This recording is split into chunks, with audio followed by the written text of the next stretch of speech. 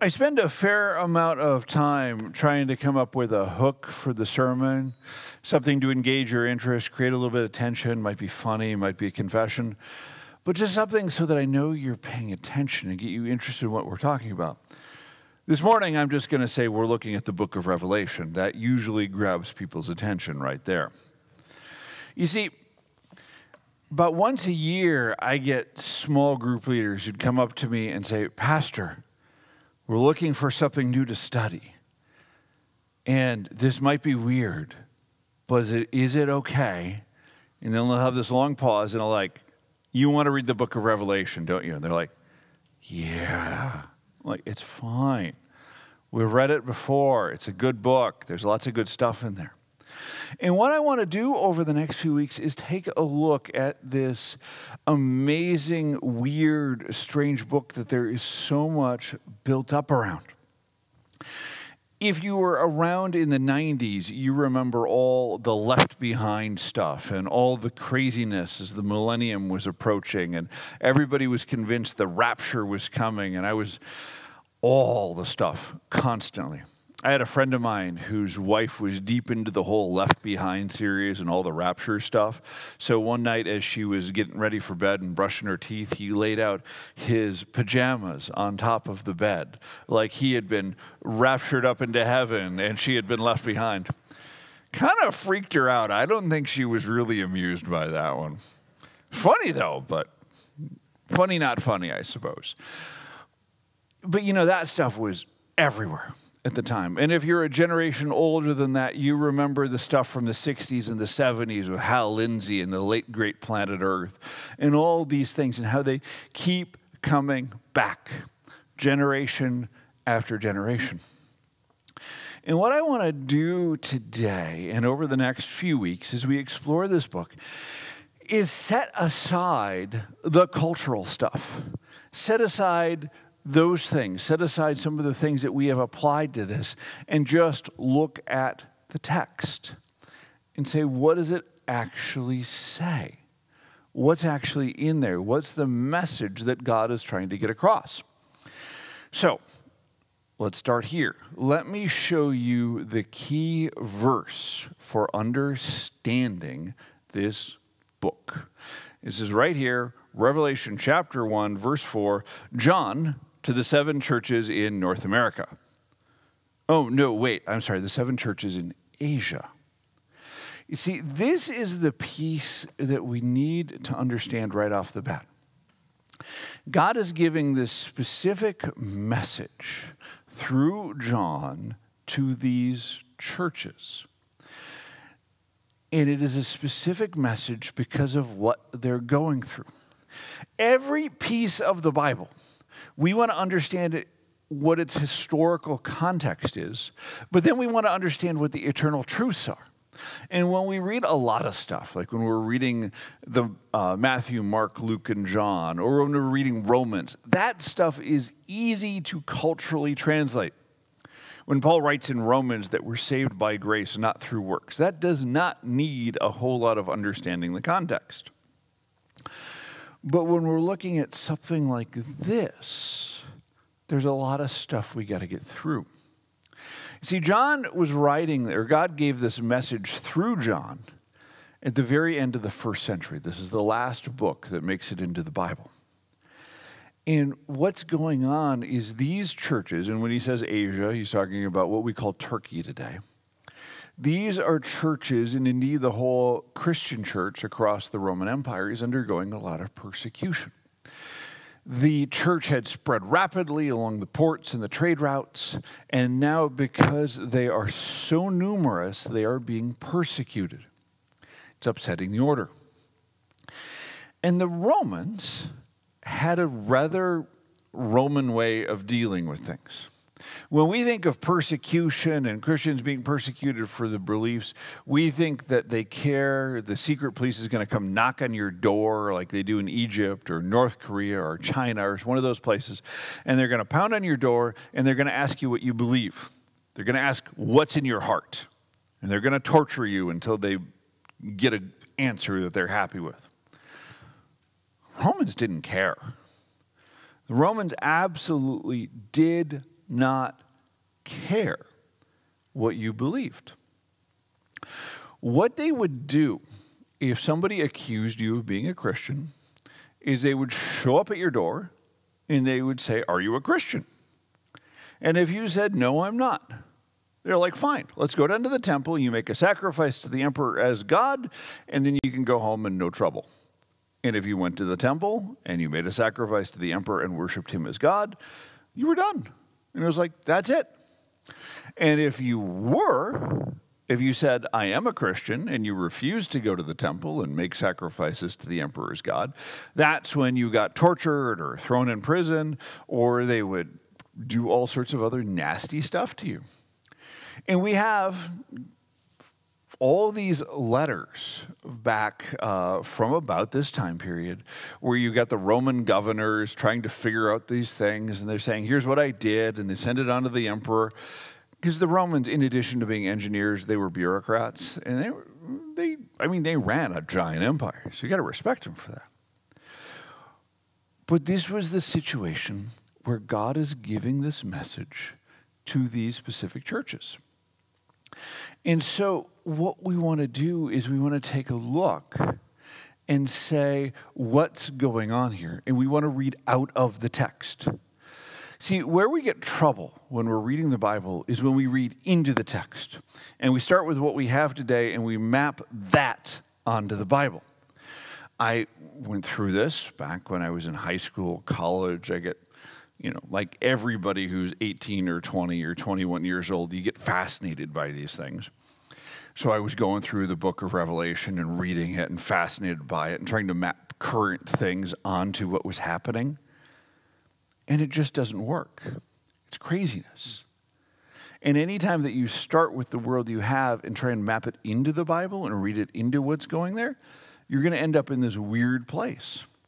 So I was trying to say these things, it, it, it's like attack helicopters. Or, you know, you go back to the Hal Lindsey stuff from the 70s, and he's trying to map these nations in Revelation to Iran and Russia, and it ends up in craziness. So, what we want to do is read this text and say, what are the eternal truths that God has for us that still, still speak to us 2,000 years after what happened? 2,000 years after these churches are suffering these persecutions, 2,000 years after John was on this island. Here is the biggest thing. Let me go right here. Revelation 1 3, the verse right before the verse I just read you. Blessed is the one who reads aloud the words of this prophecy, and blessed are those who hear and who keep what is written in it, for the time is near. This book is meant to be a blessing. I know you're all thinking, have you read this? Yeah, I've read it. I know there's stuff in there about wrath being poured out, death riding on a pale horse, strange woman from Babylon coming through. All these things happen. And this is meant to be a blessing. Let me explain why. This book is written with two different groups of people in mind. Actually, really, one group handling a crisis in two different ways. And what happens is for the people who are holding fast in all the persecution and all the trouble that they're getting in, and all the people who are showing up saying, Are you a Christian? If you're a Christian, we're going to have to torture you. To them, it is encouragement. To them, it is saying, Look, God created the universe. As Penny just read this passage where Jesus says, I am the Alpha and the Omega. Literally, that means I am the beginning and the end. And God's saying, Look, I will be there with you. I will be in the midst of this trouble for you. And no matter what happens in this world, I have security and excuse me, eternal life for you in the next one. And at the same time, there is this implicit warning. and keep, as it says here in 1 3, and keep what is written in it. There's a warning to those people who, in the persecution, are straying away. It is a warning written out of love for the people who don't want to deal with this stuff, who don't want to pay the price. See, one of the things that the Christian church was dealing with in this time is what do you do when the Romans show up for somebody and that person says, You're right, I'm not a Christian? Or maybe I had been a Christian, but I'm not anymore. And six months, year, two years, four years down the road, they come back to the church and they say, I know I denounced you. I know I walked away. I want to be part of the church again. When others who were part of that same congregation had spent time in prison or been tortured for their faith. And so it's written as a warning for those who were falling away. And it is this fascinating paradox as you go through this book to see both sides of it, to see how God plays out in both of those circumstances and for both of those people. So here is one of the biggest implicit questions in this book. And to frame it, I want to go back to a staff meeting we had a month or two ago. And the question was simply Are you toxic? And I know you're looking at me like, I thought we were friends. I know, okay? It's a real question. We were having this discussion in staff meeting. We are just doing some teaching and some continuing ed, and we was doing a session on dealing with toxic people. And there was this really good teaching that we were watching. And the point that the guy was making is that what the real difference between healthy and toxic when you're talking about churches and organizations is can you own up to your mistakes? Can you say, yeah, I've messed up? Can you say, yes, I did something wrong and I need to repent? I need to learn. We've all run into this at least once in her life. I remember a few years ago, I was leading a high school mission trip. And we had a big meeting before the trip. And I said to all the parents and all the kids, Your kids don't need to bring their cell phones with. And I'd given all the parents a list of every, all the adults' phone numbers, all the adults who were on the trip. And it's like you could never you could always get a hold of us. And I said, look, if there's an emergency at home, call one of the adults. We will get a hold of them. We can get your kid on the phone. And if your kid has a problem, they can certainly just borrow one of our phones and get a hold of you. We just want to keep the kids in the moment and not have them texting back and forth with their cohorts or their classmates or anything else. We want to get them focused on what we're actually doing. And so, of course, kids still bring their cell phones with. But as long as they kept them in their bag, in their tent, I didn't really care. I mean, I wasn't much like the Romans, I wasn't going to rifle through everybody's bag looking for cell phones and contraband. But I was getting text messages from one parent, and she was saying, Hey, my daughter texted me this. And I said to her afterwards, when we got home. I said, Hey, you all agreed that you weren't going to send cell phones with your kids. And she said, No, no, no, no. I never agreed to that. You just said that, and I kept my mouth shut. I was so mad. I was so mad. I held a grudge for like, I was going to say three years, but it was probably five. Let's be honest, it was, I probably still do. Um, First time I've told that story in a sermon, and I stopped doing youth work in 2011. So, I mean, that tells you I finally got the distance I can actually tell the story. So mad. But the reason I was so mad is that self deception and self justification piece, which is so much a part of human nature. And if I'm honest with myself, I can probably figure out four or five times I've done things just as bad, if not worse, than what she said to me. And if we're honest, everybody sitting in this room and everybody watching online can probably come up with the same self deception. And what this book is doing, the whole point of what God is trying to get across through John is say, look, stop lying to yourself. Stop lying to yourself and stop deceiving yourself. This book is written as a warning. And warnings are written out of love.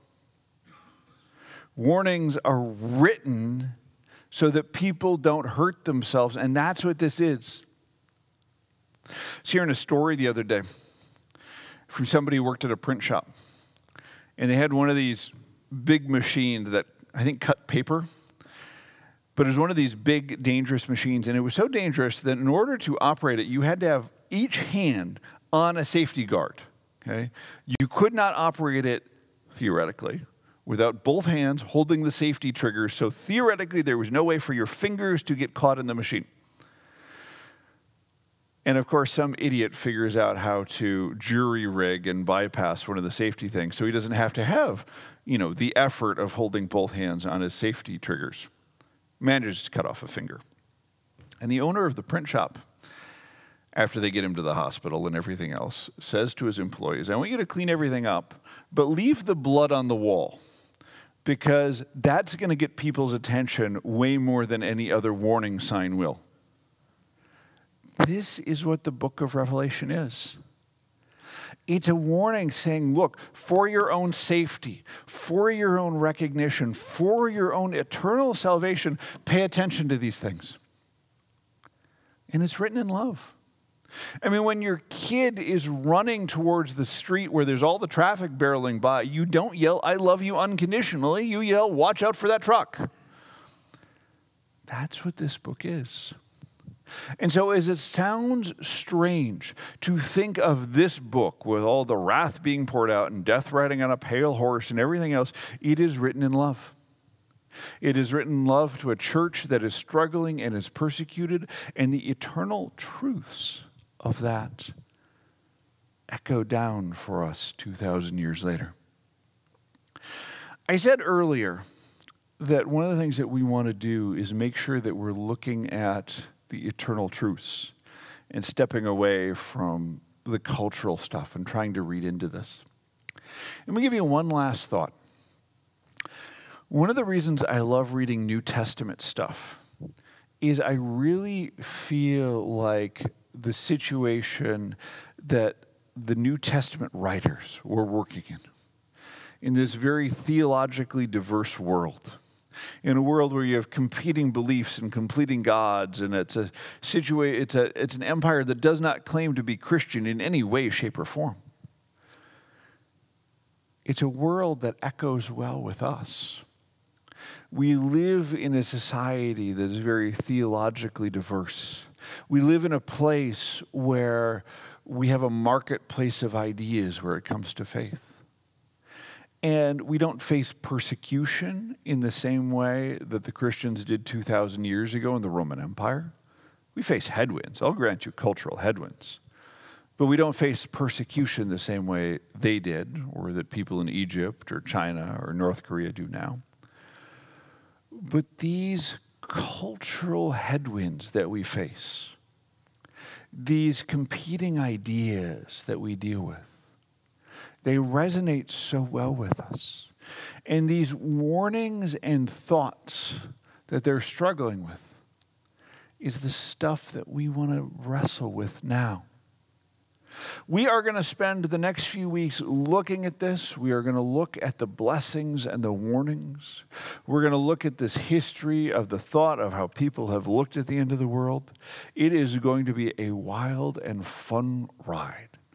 I hope you enjoy it, and most of all, I hope you're blessed by it. Amen.